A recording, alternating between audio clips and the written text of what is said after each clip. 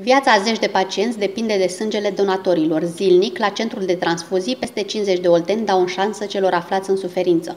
Unii fac acest lucru de ani de zile, alții vin impresionați de anumite cazuri medicale, dar fiecare picătură de sânge donată dă șansa la viață unor pacienți.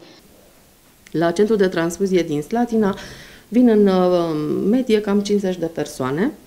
Uh, donatorii noștri, unii noi, unii sunt uh, donatorii regulați, onorifici, care vin de ani de zile uh, și care vin să doneze și din conștiință și pentru că știu că donarea de sânge este un lucru uh, binefăcător și pentru organismul propriu, dar și pentru cei care sunt în suferință în spital.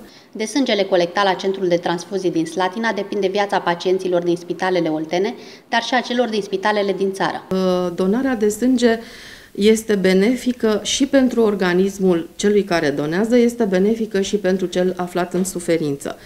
Uh, am văzut donatori care uh, donează de ani de zile și, sincer, nu le dai vârsta. Faptul că se uh, deci că îi consultăm regulat, că le luăm analize medicale predonare, că li se recomandă în urma consultației la cabinet a unor examene radiologice, cardiologice și biologice extinse, asta înseamnă practic o prevenție pe care o facem la toți donatorii noștri de sânge. Pe lângă analizele medicale precise, cei care donează sânge primesc o zi liberă de la serviciu și șapte etichete de masă. Condițiile în care este prelevat sângele de la donatori sunt unele destul de bune. Timpul de așteptare este unul destul de redus, iar în cazul în care este nevoie urgent de o anumită grupă de sânge de la un donator mai vechi, atunci acesta are întâietate.